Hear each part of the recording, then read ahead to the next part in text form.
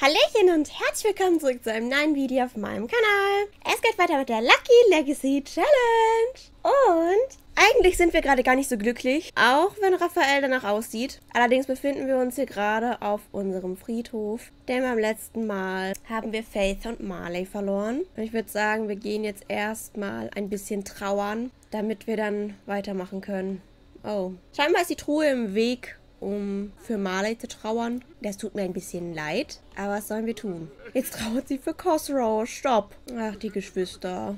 Ihr Mäuse, ey. Und die haben hier eine Romantic Action, also ich weiß ja nicht. Auf dem Friedhof? Ich bin übrigens wirklich Fan von Vadim. Er sieht wirklich cool aus. Destiny ähm, will schon mal gucken, wie es so ist, tot zu sein anscheinend. Aber geh doch dann vielleicht zu deinem Ehemann. Nur eine Idee. Nee, wir kochen jetzt nicht hier. Also, es gibt dann doch Grenzen, Girl. Ich habe mir übrigens gedacht, das sage ich jetzt am besten jetzt so am Anfang der Folge, vermutlich, nichts ist in Stein gemeißelt, ne? Wir wissen ja immer, wie das so ist, werde ich am Montag, dem 25. November, den Bau vom neuen Haus streamen. Wenn ihr euch mit einbringen wollt, wenn ihr irgendwie Ideen habt oder so, dann kommt gerne in den Stream. Voraussichtlich würde das Speedbild dann an dem Mittwoch darauf kommen, sodass wir dann die nächste Folge eben mit dem Haus spielen können. Aber jetzt wird Raya erstmal etwas zu essen machen. Wie wär's mit Auberginen mit Parmesan? Grimm ist immer noch hier. Finde ich absolut nicht in Ordnung, Bruder. Aber er geht. Ja, Gott sei Dank. Er hat einfach noch nie mit Rocky geredet. Könnt ihr mal kurz äh, euch austauschen, weil ich meine, ihr wohnt zusammen. Wir werden natürlich auch weiterhin mit Rocky leben. Ich habe mir nur gedacht, oh mein Gott, Emma, nein. Das kann doch jetzt nicht wahr sein. Was ich sagen wollte, ich würde ihren Raum und das Badezimmer dann auch nach oben verschieben, damit sie nicht mehr im Keller wohnen muss. Weil ich kann doch nicht mehr. Emma Girl! Ich meine, ich weiß, wir haben uns jetzt nicht so heftig viel um Emma gekümmert, aber trotzdem ist es traurig. Aber, also, das klingt jetzt vielleicht auch ein bisschen wild, aber wir können dann eigentlich auch die Ranchhilfe entlassen. Was wollen wir mit Christoph noch, wenn wir keine Tiere mehr haben hier? So, zum Essen rufen. Oh, ich finde es süß, dass sie jetzt auch mit uns ist hier. In gewisser Weise gehört sie halt einfach schon dazu, ne? So, und dann gehen alle schlafen, würde ich sagen. Er muss auch noch arbeiten. Ach, Mausi. Er wacht auf und möchte erstmal sich ausheulen. Ach, Maus. Wieso kann ich die Ranchhilfe nicht entlassen? Er hat jetzt schon 20 Mal angerufen, ne? Dann müssen wir ihn vielleicht mal direkt drauf ansprechen oder so. I don't know. Apropos. Wir müssen noch generieren. Das ist die 178. Starte absichtlich ein Feuer. Ich weiß doch auch nicht. Wieso haben wir hier so einen Unternehmertisch? Hä? Äh, nehme ich mal weg. Ist hier ein Töpfchen. Ich bin gerade schon wieder verwirrt des Todes. Also ich meine, ja, das meiste wird wahrscheinlich aus dem Inventar von Marley sein, aber warum hat er zwei Quietscheentchen? Schwer mich nicht, ne? Ich würde es damit machen. Wir brauchen aber nur eins. Das zünden wir aber erst an, wenn Raphael schon auf der Arbeit ist weil äh, sonst kommt er nicht zur Arbeit und das ist immer so ein Problem. Okay, er ist zur Arbeit. Hochzeit in Weiß. Oh, auch das noch. Na super. Das ist ja das Richtige, was wir hier ausgewählt haben. Jawohl. Wir können es löschen. Warum das denn? Sie hat doch Angst vor Feuer. Offensichtlich explodiert es, wenn es halt drin ist. Oh nein, der Teppich. Ja, gut, dass wir das Haus eh alles neu machen wollten, ne? Brandheißes Feuerwerk wegen fehlgeschlagener Feuerwerksexplosion. Sie dehnt sich erstmal super. Also beziehungsweise nicht den, sondern Liegestütz.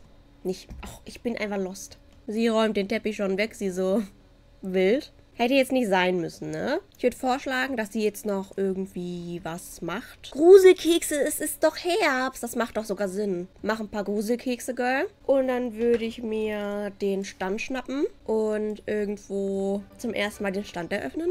Hi. Wir müssen dich noch feuern, Bro. Einer der Kollegen von Raphael braucht Hilfe bei einer Aufgabe. Wie soll er reagieren? Helfen? Hä? Ganz normal. Warum ist das so eine böse Interaktion eigentlich? Wir sagen nur, hey, wir brauchen dich nicht mehr. Er hat 136 noch eingenommen, obwohl er gerade erst gekommen ist. Was ist denn mit ihm? Die sehen sehr cool aus. Also ich muss erst die Sachen da rausnehmen, okay.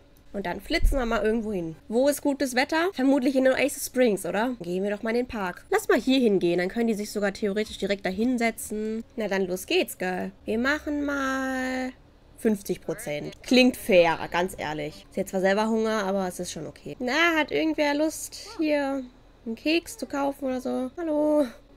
Oh, guck mal. Die kennen wir doch aus der Highschool. Hey, willst du was kaufen? Yay, jetzt kommen endlich Leute. Sogar ein Geist. Es ist Wayne the Boulder. Der hat mal bei uns gewohnt. Hey, es wurde ein Grillkäse gekauft. Der Grillkäse kommt ganz gut an, ne? Jawohl. Wir können ja auch nebenbei Waffeln machen. Lass mal erstmal so einfache Waffeln machen. Alea, hi girl. Ja, Kekse wurden auch gekauft. Let's go. Es läuft gut. Gar nicht mal so schlecht, würde ich sagen. Ja, genau, stell sie auf den Boden. Wie es sich gehört. Willy. Uh. Dankeschön, dass ihr alle mein Essen kauft. Lass mal noch mehr Waffeln machen. Kürbismilchwaffeln. Guck mal, es ist Herbst, das passt.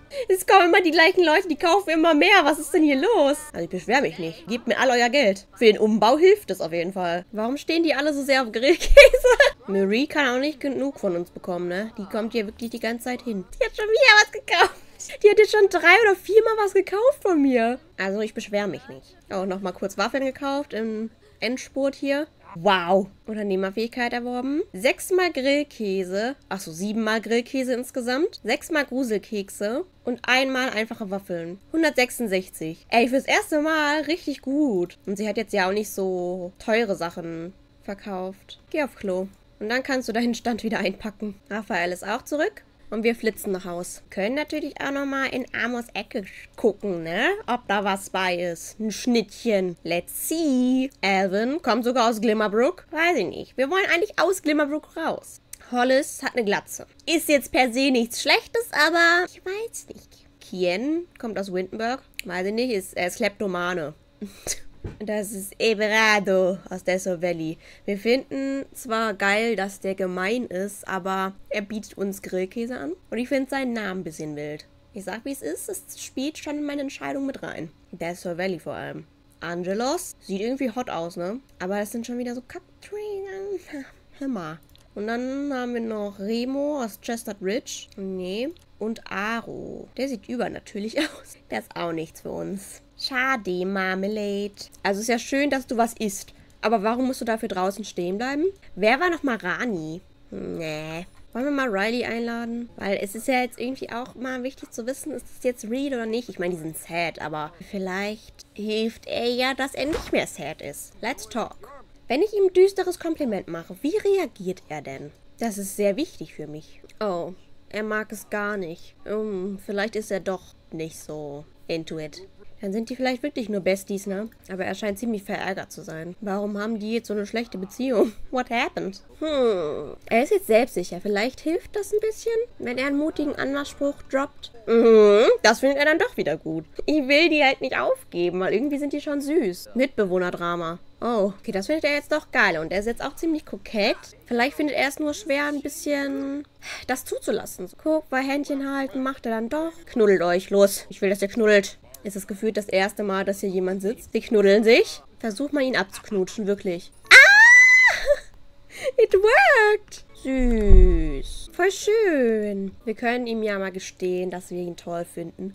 Er ist romantisch. Ja, süß. Ich mein, ihr lieben Mäuse. Man gönnt sich ja sonst nichts, ne? Ist nur eine Frage. Und er sagt, ja, let's go. Raya so, okay. Aber so dein, sein Spaßbedürfnis geht dann nämlich ganz hoch. Das ist schon ganz nice, ne? Also, er hat einfach Grill Grilled Cheese. Pyjama-Hose. Ich fühl's sehr. Also, ich hoffe, dass äh, ihr eine gute Zeit hattet, ne? Also, bei denen muss ich mir wenigstens noch keine Gedanken machen, dass da jetzt irgendeiner schwanger wird. Ich will diese Hose, Alter. So ein Slay. Okay, Riley möchte jetzt auch gehen. Aber lief gut, würde ich sagen. Vielleicht sind sie doch meant to be. Es ähm, war einfach nur ein bisschen holpriger Start. Weil ich finde die schon süß zusammen auch. Nee, Blatt! Nee! Er ist immer da. Ich finde das nicht okay. Good morning, boy. Wir können Raya noch beim Arbeitsamt eintragen lassen. Ja! Was halten wir davon? Inhaberin Rayas Ragu. Das Ding ist, ich wollte eigentlich von schreiben, aber das geht nicht. Wenn ich hier tippen möchte, funktioniert das nicht mehr. Es ist nicht genug Platz. Deswegen Inhaberin Rayas Ragu. Und sie verkauft Essen an einem Essenstand namens Rayas Ragu. Sie direkt wieder unter die Decke. Same. Okay, and today is a day for the 49. Kaufe eine Rakete und flieg in den Weltraum. Ja, wenn sonst nichts ist. Raphael hat heute auch frei. Wie wäre es, wenn wir es diesmal mit Raphael machen? Geld sparen ist nicht in dieser Familie wirklich. Was für andere Objekte? Ach, wegen dem Ding hier. Oh mein Gott. Vielleicht arbeitet ihr einfach gemeinsam dran. Aber Raphael ist dann der, der in den Weltraum fliegt. Das ist doch eine Idee, oder? Bei Raya würde ich trotzdem gerne mal Amos Ecke öffnen. Falls das schon neu gedingst ist. Ja, ich kann Matches aktualisieren. Komm, es muss doch mal irgendwann einer dabei sein, den wir wollen. Der Matthias ist es jedenfalls nicht. Jakob? Nein, wir möchten keinen Bär daten. Wirklich nicht. Raylan? Ja, ne, ist halt so eine Sache. Also wir finden den schon hot. Das hat ja schon Sinn gehabt, ne? Wir speichern ihn mal, weil, also, wir, wir kennen Raylan schon, aber dann Kamara ist faul. Das finden wir, glaube ich, nicht gut. Angelo ist ein Chaot. Das ist auch nicht gut. Und er hat einen Fisch, das ist auch eine Red Flag. Chris sieht ganz nett aus. Zu nett, glaube ich. Dann haben wir noch Neferet, aber der sieht auch sehr übernatürlich aus. Nach einem Vampir, wenn ich ehrlich bin. Ich habe genug von Vampiren. So no. Raya mag Geschichten nicht. Na gut. Man kann ja auch nicht alles mögen. Vlad? Vielleicht ist Vlad doch sowas gut. Wir müssen weniger daran arbeiten. Ist doch gar nicht so schlecht. Aber es ist trotzdem wild. Also ich finde es ganz wild, dass Vlad hier jetzt chillt und uns hilft, ne? Ihr macht das schon. Wer kennt ihn übrigens nicht? Der Arzt, der den Weltraum erkundet. Das Weltraum, oder? Ach, keine Ahnung.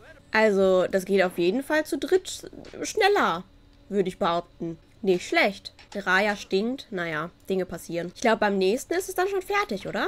Oh, Christoph hat jetzt ganz offiziell gesagt, oh, ich möchte mich lieber mit jemand anders treffen. Aber wir sagen, ja, das solltest du selber entscheiden. Mentaler Nebel, jetzt chill mal deine Bases. Jetzt chill mal deine Bases, Alter. Was ist denn manchmal mit mir los? Es hat den ganzen Tag gedauert. Flat stinkt auch schon komplett. Ja, dann geh mal ins Weltall. Iconic. Viel Spaß! Verschollen im Weltraum. Raphael gleitet durch die Galaxie, als er eine Konstellation bemerkt, die er nie zuvor gesehen hat. Er überprüft seine Koordinaten und stellt fest, dass er an einem ganz anderen Ort ist, als er dachte.